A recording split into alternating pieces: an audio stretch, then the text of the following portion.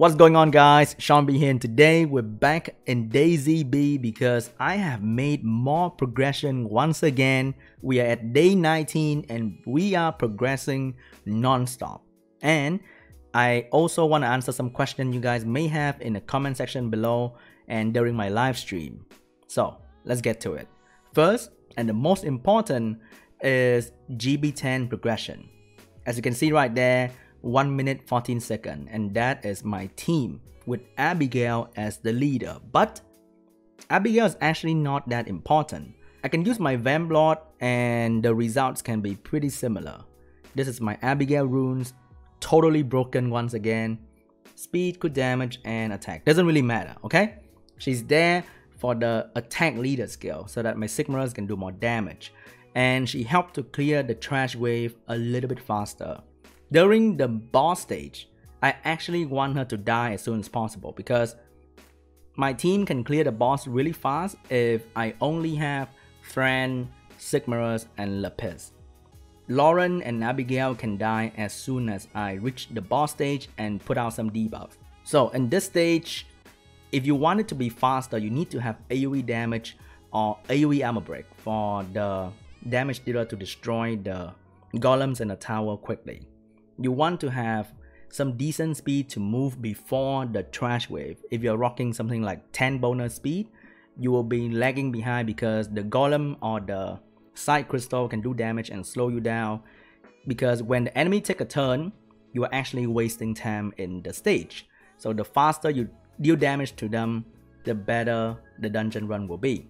And you may think that there is so many multi-hit in this team, why do you have so much multi-hit in GB10? Actually, when I experiment this kind of team, I realized that the more multi-hit I have, the more safe, the safer my Sigmarus will be. Because the multi-hit unit have a much better chance to take hit from the boss, and as long as my Sigmarus can survive, then the stage will be done really really fast.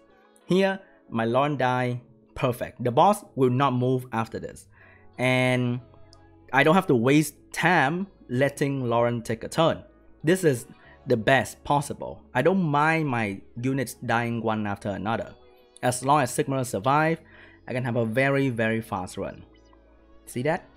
You don't need Bernard, you don't need Bella because attack buff from Fran, armor break from Lauren, attack break from Fran, attack bar reduction from these two support, and you are good to go.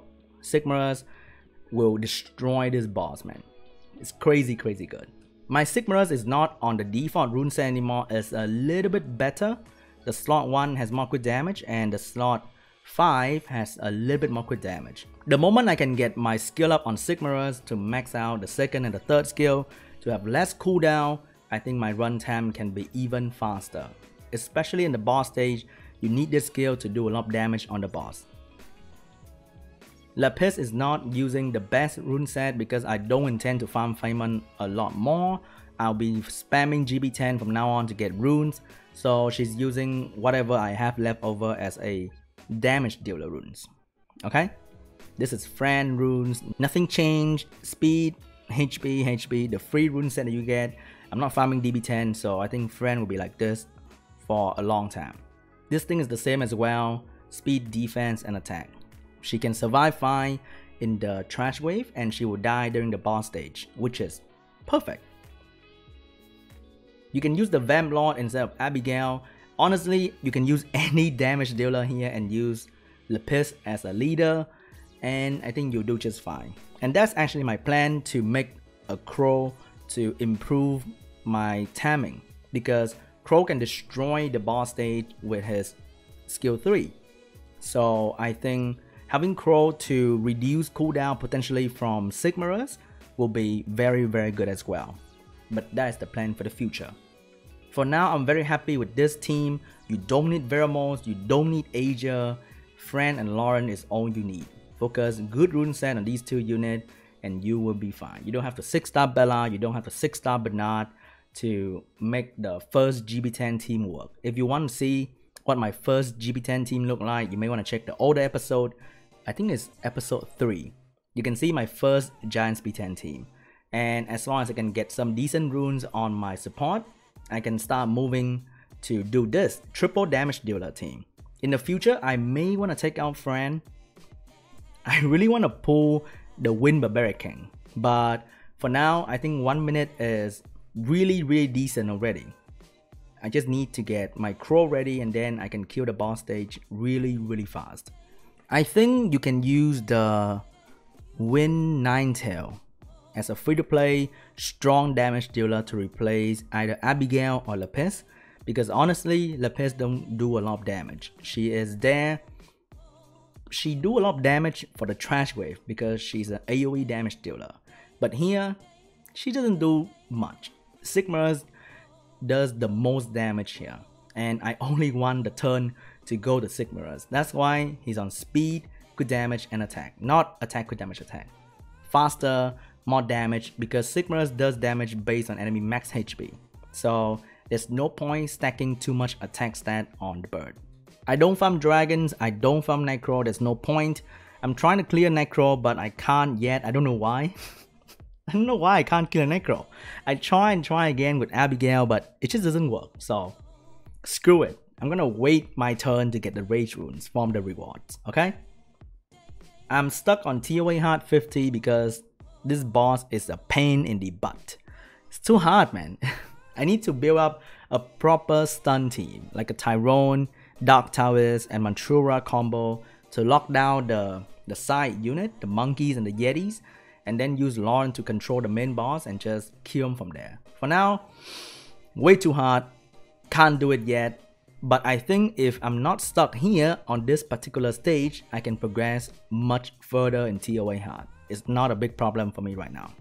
I am currently using this to farm 2A for Crow. The runs take 4 minutes is really really slow because my units are not strong but at least it is pretty safe. So it's gonna be a while until I second awaken my crow. It takes it takes so long to farm. I, I get really frustrated. But this team can do the level 4 Inugami dungeon really really well. This team can do the level 5 as well, but my stats are not good enough, so the crystal do a lot of damage on my unit. So I'm not there yet.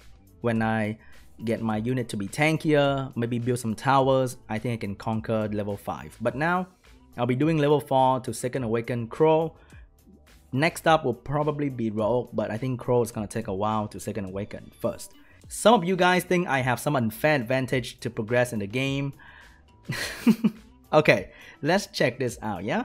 You think I have a G3 guild to carry me? No, this is our new fresh guild.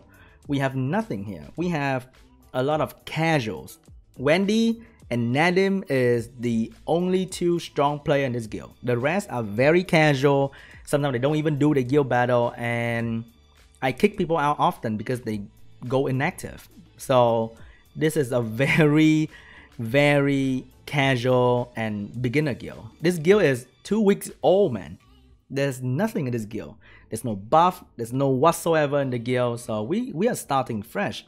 And I have no plan to progress further for the guild, so everyone's setting one man defense, and we win one, we lose one. That's about it.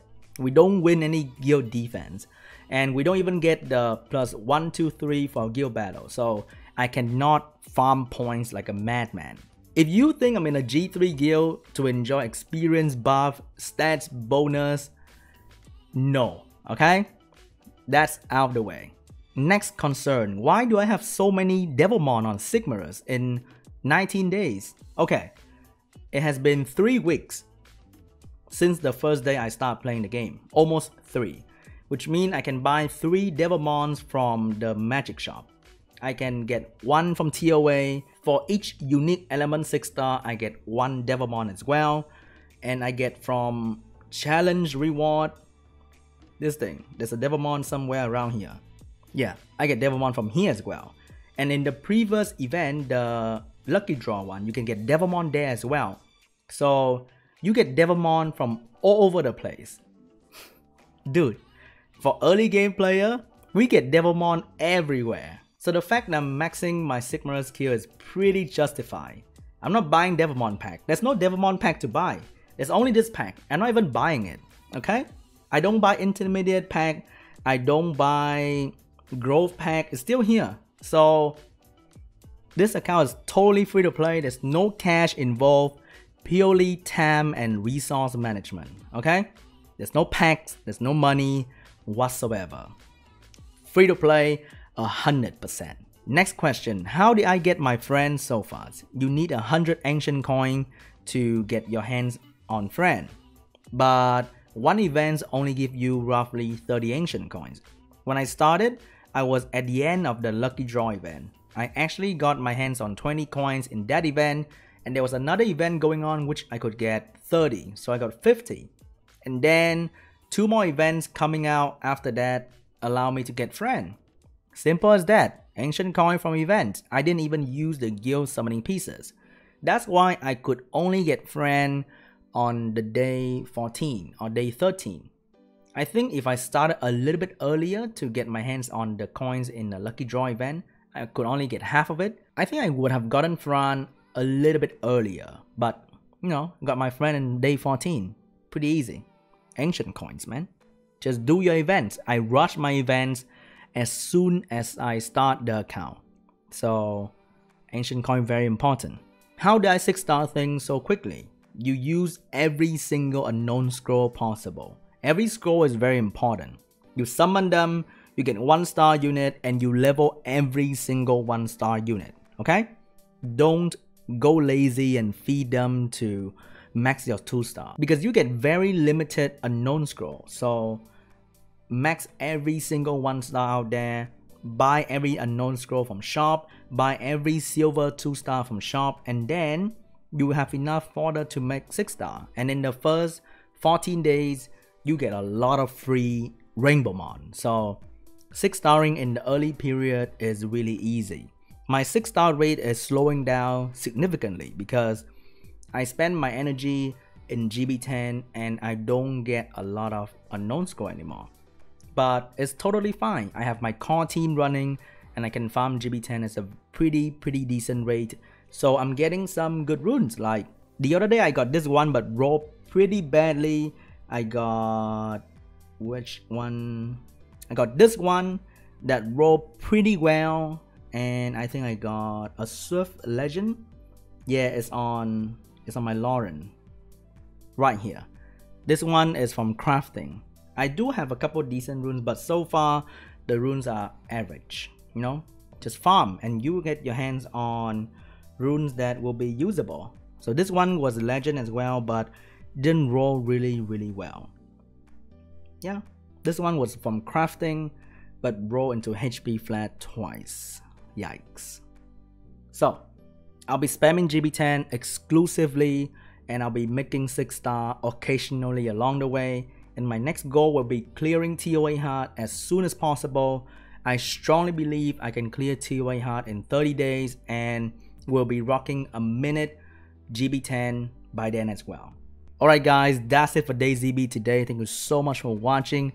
I really, really appreciate the support you guys give this beginner series because I thought that this series would not take off, but you guys really, really love it, and I hope that it was helpful to you in any shape or form, and I'm having so much fun as well.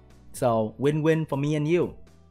Leave a like you enjoy, leave a comment down below if you have any question, and I'll see you guys in next video.